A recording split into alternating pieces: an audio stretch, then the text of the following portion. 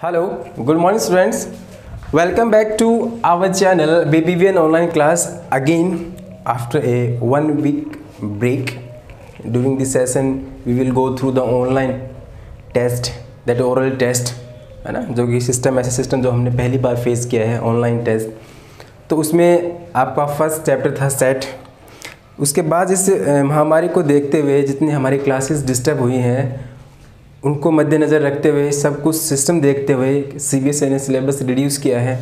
कुछ टॉपिक्स हटा दिए, कुछ चैप्टर हटा दिए। किसी पर्टिकुलर टॉपिक में से कुछ कंसर्न जो टॉपिक्स हैं, वो हटा दिए गए हैं। नया सिलेबस ऑलरेडी आपको भेजा जा चुका आपके ग्रुप में।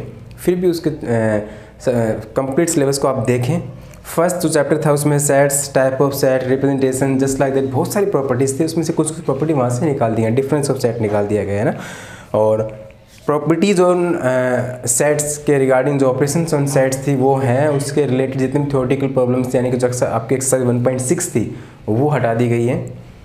तो अगर उसको हटा दें तो हमने 1.5 तक हमने कंप्लीट कर ली हैं। उसमें से आप डिफरेंस ऑफ़ सेट को निकाल दीजिए। कंप्लीट फ़र्स्ट चैप्टर हमने किया। सारे एक्सरसाइज सारे क्वेश्चंस एग्ज़ाम्पल हमने किए। फ़र्स्ट चैप्टर को आप कंप्लीट फिर से देखें, क्योंकि जब तक फ़र्स्ट सेट्स नहीं आएँगे, तब तक उन सेट का जो यूजेज है usage of sets in second chapter that is relation and function वो समझ में नहीं आएगा। जो जो नए स्टूडेंट्स हैं, जो डायरेक्ट सेकंड चैप्टर देखें, उनके लिए फ़र्स्ट चैप्टर पढ़ना बहुत ही ज़रूरी है। तो ध्यान रहे before going to start the second chapter we will go through और first chapter that is set और आपको चीज़ें ध्यान से पढ़नी है डीपली ताकि उनका परफेक्ट यूज़ कर सकें। रिलेशन फ़ंक्शन एक ऐसा चैप्टर है, जो पूरी इलेवेंथ क्लास में ट्वेल्थ क्लास में आगे हर एक कंपटीशन एग्ज़ाम में। हालाँकि आप इतना इसको इम्पोर्टेंट नहीं कह सकते, क्योंकि अगर पॉइंट ऑफ़ व्यू इसका मार्क्स के अकॉर्डिंग देखें, इसका वेटेज देखें तो वो कम है। लेकिन हम किसी भी चैप्टर को जो कम वेटेज का है, उसको अनइम्पोर्टेंट नहीं कह सकते। तो इसका यूजेस जो है, वो पूरी इलेवंथ क्लास में बहुत सारे चैप्टर्स में होगा ट्वेल्थ क्लास के बहुत सारे। मैक्सिमम नंबर ऑफ़ चैप्टर्स में आपका रिलेशन फ़ंक्शन यूज़ होना है। आगे कंपटीशन में जितने भी जो कंपटीशन लेवल के जो एग्ज़ाम्स होंगे, उसमें भी आपको रिलेशन फ़ंक्शन को फेस करना है। तो हम इस चैप्टर को बहुत डीपली पढ़ेंगे, आराम से पढ़ेंगे। चाहे वीडियोस कितनी भी लंबी बन जाए, कितने भी पार्ट हो जाए, आपको रिलेशन फ़ंक्शन ध्यान से समझना है। रिलेशन एंड फ़ंक्शंस सेट्स आपने पढ़े। उन सेट्स में क्या क्या प्रॉपर्टीज़ थी? उनमें क्या क्या रिलेशन बन सकती है? रिलेशन एक फ़ंक्शन कब बनता है? इस तरह के यूजेस हम पढ़ने वाले हैं। क्लास इलेवंथ में जैसे आपका सेकंड चैप्टर है chapter number second relation and function इस रिलेशन फ़ंक्शन का यूजेस कैसे कैसे देखेंगे आप? जैसे आप चैप्टर नंबर थर्ड है आपका। कौन सा है? ट्रिग्नोमेट्री फ़ंक्शन उसमें देखेंगे, है ना? चैप्टर नंबर आपका शायद थर्टीन है। कौन सा है? आपका वही डिफ्रेंसिबिलिटी ठीक है? ऐसे क्लास ट्वेल्थ में आपका फ़र्स्ट चैप्टर कौन सा है? Relation and function second chapter आपका आई टी एफ़ है। इनवर्स ट्रिग्नोमेट्रिक फ़ंक्शन ठीक है? उसके बाद आपका फिफ्थ है limit and continuity limit and continuity जैसे आपका यहाँ था limit and continuity continuity and differentiability क्या है पे? कंटिन्यूटी एंड डिफरेंशियबिलिटी सिक्स आपका एप्लीकेशन ऑफ़ डेरिवेटिव सेवन्थ आपका इंटीग्रल है एट्थ आपका एप्लीकेशन ऑफ़ इंटीग्रल है जस्ट लाइक दैट बहुत सारे चैप्टर्स हैं जिनमें रिलेशन और फ़ंक्शन का यूज़ होना है। तो इन सबको देखते हुए हमें इस चैप्टर को बहुत आराम से पढ़ना है ताकि इसका जो यूज़ आगे आने वाले चैप्टर्स में है, वो इजीली हम कर पाएँ। रिलेशन एंड फ़ंक्शन इसमें सबसे पहला तो टॉपिक है बेटा आपका दैट इज़ ऑर्डर्ड पेयर या फिर कार्टिजन प्रोडक्ट क्या आएगा Cartesian product of two sets the first topic is that Cartesian Cartesian product of sets Cartesian product of set actually में कार्टिजन प्रोडक्ट होता क्या है?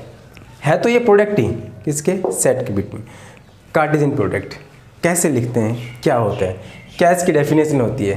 क्या कहते हैं? Let A and B are two non empty set let a and b are two non-empty set. Then the cartesian product of a and b that is represented by what? A cross b right? Is the set of all ordered pair is the set of all ordered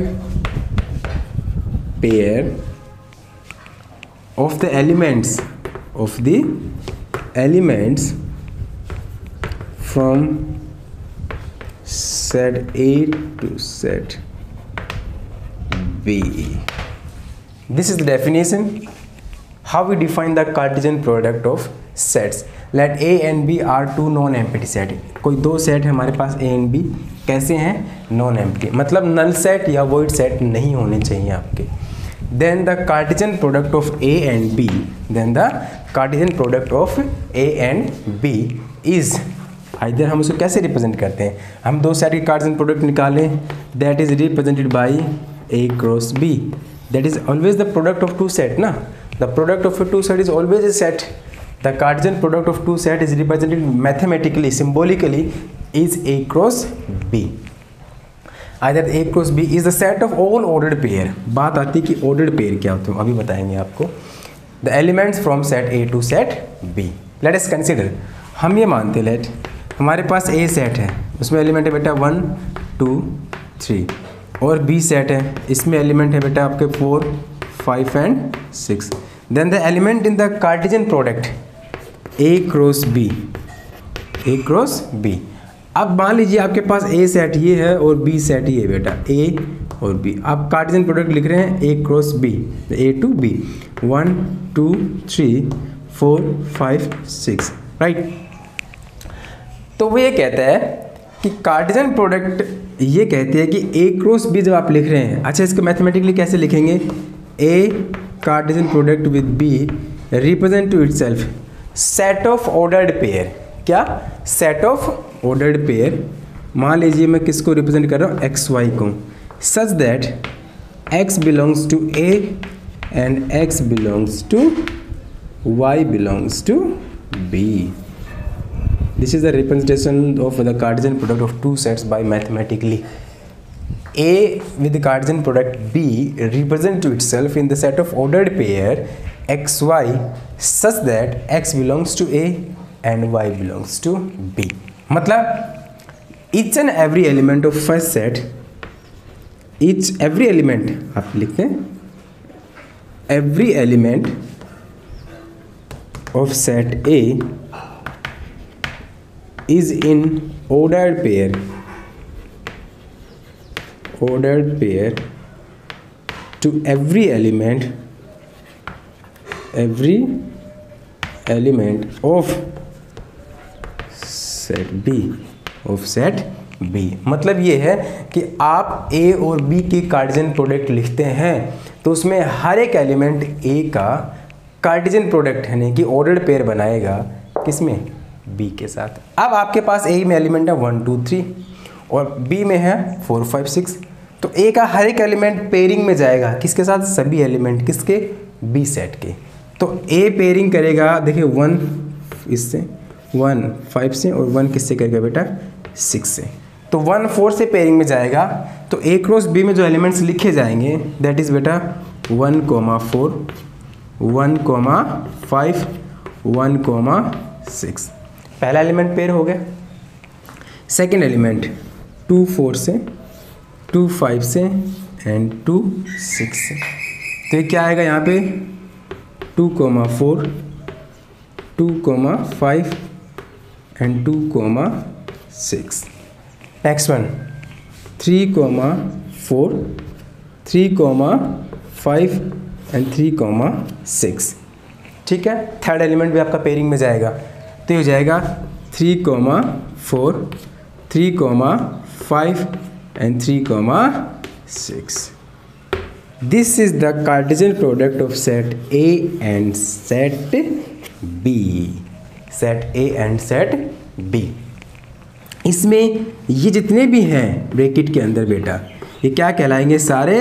They all are ordered pair they all are ordered pair in which the first element belong to the first set and second element belong to the second set her ordered pair का first element first set से होगा second element second set से होगा right मान लीजिए मैं यही ये कहूँ कि आप बेटा बी क्रॉस ए बी की कार्डिजन प्रोडक्ट किससे लिखिए? ए से लिखिए। बी की कार्डिजन प्रोडक्ट किससे लिखिए? ए से लिखिए। तो उसमें क्या होगा? वो जो फ़र्स्ट एलिमेंट होगा, वो किससे बिलोंग करेगा बेटा? बी से। और जो सेकंड एलिमेंट होगा किससे बिलोंग करेगा? ए से। तो उसमें उल्टा हो जाएगा सिस्टम कैसे? ये बी था आपका, ये ए है। ये बी था, ये ए है। कार्डिजन प्रोडक्ट लिखनी, इसमें कौन से थे? फोर फाइव सिक्स इसमें कौन सा? वन टू थ्री तो वही है। फोर पेयरिंग में जाएगा तीनों के साथ। वन के साथ, फोर के साथ, टू के साथ, थ्री के साथ। तो क्या बन जाएगा ये? One, four four, one, four, two, four, three. फिर सेकंड एलिमेंट आएगा पेयरिंग में। कौन आएगा? Five five one five two five three तो ये बन गया five one five two and five three next one six six one six two six three तो ये बन गया आपके पास सिक्स वन सिक्स टू और ये बन गया आपका six three this is the cartesian product how we write A cross B and B cross A ये कंप्लीट जो जनरलाइजेशन है, ये सिर्फ़ और सिर्फ़ किस पे डिपेंड करता है? Cartesian product of two sets let A and B are two non empty set definition इसकी कि ये ज़रूरी है कि जो सेट आप चूज़ कर रहे हैं they all are non empty sets then the cartesian product of A and B is either of A cross B और B cross A is the set of all ordered pair is the set of all order pair of the elements of the elements ये elements तो हैं from set A to set B और B to A होगा तो from set B to set A इस तरह से। उसमें रिप्रेजेंट करने का method X Y is an order pair such as that X belongs to A and Y belongs to B ये आपके पास कार्डिजन प्रोडक्ट का लॉजिक है। हालाँकि हमने आपको ऐसे बनाया ना इलेक्ट्रिकल फॉर्मेट में सेट लिख के बताई। एनसीईआरटी कैसे कहती है? एनसीईआरटी ने जो रिप्रेजेंटेशन दी है इन सेट्स की कार्डिजन प्रोडक्ट की उस डिफरेंट तरीके से दी। हालाँकि दोनों का मतलब सेम है, लेकिन उसमें जो रिप्रेजेंट किया है इन क्वेश्चन को, इस मैथड को, वो कैसे सोल्व किया है?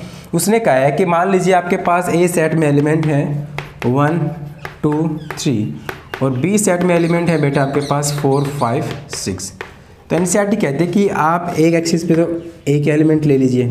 वन टू थ्री और दूसरी एक्सिस पे आप ले लीजिए फोर फाइव सिक्स तो इसको आगे बढ़ाएँ।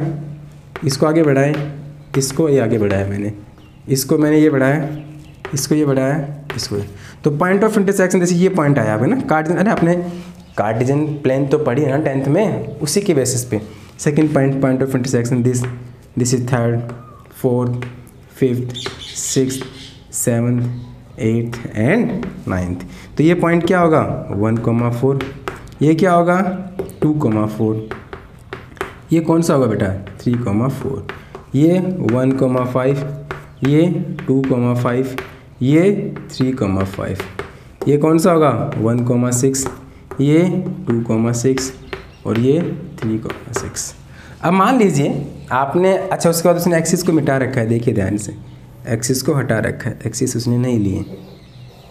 नहीं लिए। ये सेट ए था आपका, और ये बेटा सेट बी है। क्यों नहीं लिए? मान लीजिए, वो ये कहते कि ए सेट में एलिमेंट है बेटा मेरे पास ए बी सी और बी सेट में एलिमेंट है बेटा मेरे पास डी ई एफ़ तो अब बताइए कि आप ए क्रॉस बी जब लिखेंगे तो उसके लिए ए के जो एलिमेंट्स हैं, इसको कहाँ रिप्रेजेंट करेंगे? आपके पास नंबर थे, तब तो आपने रिप्रेजेंट कर दिया।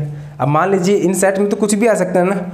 कोई भी ऑब्जेक्ट्स आ सकते हैं सेट्स में तो ना ज़रूरी, थोड़ी नंबर ही आएँगे। नाम है, कोई थिंग्स हैं, कोई आर्टिकल्स हैं, कोई बुक्स हैं, कोई बुक्स के नेम हैं, कुछ भी हैं, कुछ भी आएँगे तो उनको कैसे लोकेट करेंगे? इसलिए उन्होंने कार्डिजल प्लेन को हटा दिया, लेकिन जो सिस्टम था, इसको बनाने का सेट्स को कार्डिजल प्रोडक्ट का, वो ऐसे बताया उन्होंने। Point of intersection of both the sets right तो ये बन के देखो, इसका कार्डिजन प्रोडक्ट कैसे लिखेंगे दोनों का ए क्रॉस बी का, वही आएगा आपका, देखो one four two four three four next में है वन फाइव इसमें है बेटा टू फाइव इसमें है three five one six two six and this is three six ये, और हालाँकि ये आपका वही था जो आपने यहाँ लिखा था सेम एज इट इज़ ठीक है? तो इसमें तीन चीज़ें आई कार्टिजन प्रोडक्ट आया ऑर्डर पेयर आए, और पेयर में जो एलिमेंट है वो कौन सा, किससे बिलोंग करता है वो हमने आपको बताया। इस कंप्लीट एक्सरसाइज में आपके जो one point two point one है, इसमें सिर्फ़ और सिर्फ़ हम ऑर्डर्ड पेयर पे ही डिस्कशन करने वाले हैं कार्टिजन प्रोडक्ट पे ही डिस्कशन करने वाले अब कुछ इसकी ऑब्जर्वेशंस हैं, किसकी? कार्टिजन प्रोडक्ट की ऑब्जर्वेशंस है, वो क्या है, वो देख लेते हैं then we will start our exercise right तो ऑब्जर्वेशंस क्या कहती हैं? कुछ तीन चार ऑब्जर्वेशंस हैं, उनको हम सीख लेंगे, पढ़ लेंगे तो हो सकता है कि उनकी से हमें क्वेश्चंस को सॉल्व करने में हेल्प मिल जाए। तो इसकी ऑब्जर्वेशन क्या है? ऑब्जर्वेशंस पहली ऑब्जर्वेशन कि मान लीजिए if either A or B is a empty set either A और B is a empty set then the cartesian product of A and B is five the cartesian product of A and B is five why मान लीजिए A आपके पास है बेटा one two three और B आपके पास है एम्प्टी सेट फाइव। तो ए में आपने एलिमेंट तो लिख दिए वन टू थ्री बी में एलिमेंट लिख दिया आपने कुछ भी नहीं। लिखो ना कार्टिजन प्रोडक्ट कैसे बनाओगे? उसमें तो कुछ एलिमेंट ही नहीं है। उसमें तो कोई एलिमेंट ही नहीं है। तो आप कैसे लिखेंगे कार्टिजन प्रोडक्ट बताओ? नहीं लिख पाएँगे। इसका मतलब अगर कोई भी दोनों सेट में से कोई एक सेट एम सेट है then the Cartesian product is always a M set null set void set second observation if either either a or b is a infinite is an infinite set then a cross b is always is always infinite. कि मान लीजिए आपने दो set जो choose किए हैं non empty set ए और B उसमें से कोई एक सेट इन्फानाइट है। तो सिंपल सी बात है कि जो सेट इन्फानाइट होगा, उसकी कार्डजन प्रोडक्ट आप लिखेंगे दूसरे सेट के साथ तो वो भी कैसी रहेगी? इन्फानाइट रहेगी। इसमें आप इन्फानाइट नंबर ऑफ़ एलिमेंट लिख दो। Set of natural number set of natural number अगर मैं इसमें लिख दूँ तो सेट ऑफ़ नेचुरल नंबर को one two three four five infinite तक लिखते जाओ। तो कार्डिजन प्रोडक्ट जब आप लिखेंगे तो क्या इस कार्डिजन प्रोडक्ट का फाइनाइट बना सकते हैं? कभी नहीं बनेगी sir that's why if A either A or B is a an infinite set then the Cartesian product of A and B is always infinite is always infinite third अच्छा उससे पहले एक बात और थी main if number of element in first set अगर मान लीजिए किसी एक सेट में एम एलिमेंट है and number of element in second set is n then the number of element in the Cartesian product of A and B is equal to m into ये ध्यान रखें आप। और या फिर इसको आप P से लिख दें, या इसको Q से लिख दें। तो क्या बन जाएगा? P cross Q. इस बात का विशेष ध्यान रखें कि मान लीजिए आपके पास फ़र्स्ट सेट में P एलिमेंट है सेकेंड सेट में Q एलिमेंट है then the element in the Cartesian product of both the set is how much how many P cross Q, the product of the set of both the set, element of both the set. Third one, if ordered pair are equal, then मान लीजिए कोई दो ordered pair equal है if two ordered pairs are equal then x y एक ordered pair है वो equal है five comma six के तो ये तब पॉसिबल है अगर दो ऑर्डर पेयर इक्वल हैं। तो इसका मतलब क्या होगा? फ़र्स्ट सेट एलिमेंट फ़र्स्ट के इक्वल होगा और सेकंड एलिमेंट किसके इक्वल होगा? सेकंड एलिमेंट के। It means x equal to five होगा and y equal to six होगा। अगर कोई दो ऑर्डर पेयर वैसे इक्वल हैं तो हम ये कह सकते हैं कि उनके फ़र्स्ट एलिमेंट इक्वल होंगे और सेकंड एलिमेंट सेकंड के इक्वल होंगे। ये इसकी प्रॉपर्टी ऑब्जर्वेशन नंबर थर्ड है। नेक्स्ट ऑब्जर्वेशन मान लीजिए आपने टेबलेट्स लिखे हैं। टेबलेट्स मतलब ऑर्डर पेयर अगर आपको ऑर्डर टिपलेट पूछा जाए, आपको ऑर्डर टिपलेट पूछा जाए मतलब तीन बार ऑर्डर ट्रिपलेट मान लीजिए आपके पास आपने A Cartesian product with B लिखी है, और इसी कार्डिजन प्रोडक्ट सी से करनी पड़े तो जो ऑर्डर पेयर में एलिमेंट आएँगे, उसमें बेटा एक, दो, तीन। इस तरह से लिखोगे ना, एक, दो और तीन। ज़ाहिर सी बात है कि ए विद कार्जन प्रोडक्ट में दो एलिमेंट आने ए विद कार्जन प्रोडक्ट कितने एलिमेंट आने दो एलिमेंट और उसके सी से करोगे तो कौन सा एलिमेंट तीसरा एलिमेंट है कि तीन एलिमेंट आ जाएँगे। That is called order triplet क्या बोलेंगे उसको? ऑर्डर ट्रिपलेट वो कैसे लिखेंगे? अगर ऐसा आ जाए तो उसको कैसे लिखेंगे? वो देखिए। वो ये है कि आपने ए सेट लिया वन टू बी सेट लिया आपने zero minus one zero one और सी सेट लिया आपने। थ्री फोर तो आप जब ए क्रॉस बी लिखेंगे तो बेटा वो क्या आएगी? A cross B one zero one one ठीक है? ये आप ले लो। One zero minus one zero ले लो। ठीक है? देखो one minus one one zero two minus one two zero ठीक है? ऐसे लिखोगे ऑर्डर पेयर कैसे? ये ए था आपका ए और ये क्या था बी ए और बी कार्डन प्रोडक्ट लिखनी है। इसमें वन टू है।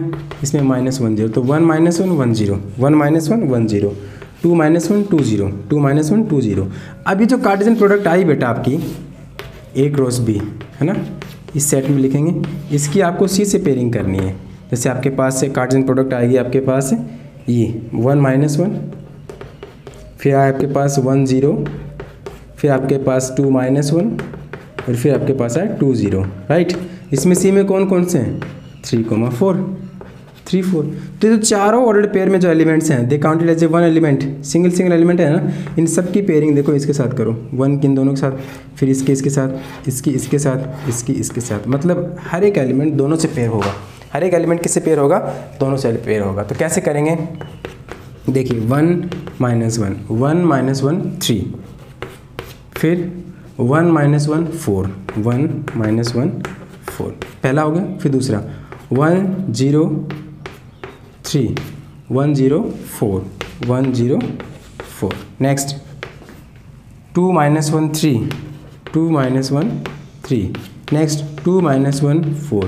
And last two zero three and two zero four. This is the Cartesian product. And that is what? That is a cross b with cross c. ये आपकी order triplet है। तो इस complete topic में हमने क्या पढ़ा? एक्सरसाइज 2.1 जो रिलेशन फ़ंक्शन की है, उसमें कार्टेशियन प्रोडक्ट ऑफ़ सेट पढ़ा ऑर्डर पेयर पढ़ा, उसकी कुछ ऑब्जर्वेशन हमने देखी। अब इनको देखते हुए जो हमारी एक्सरसाइज स्टार्ट करेंगे, हम कौन सी?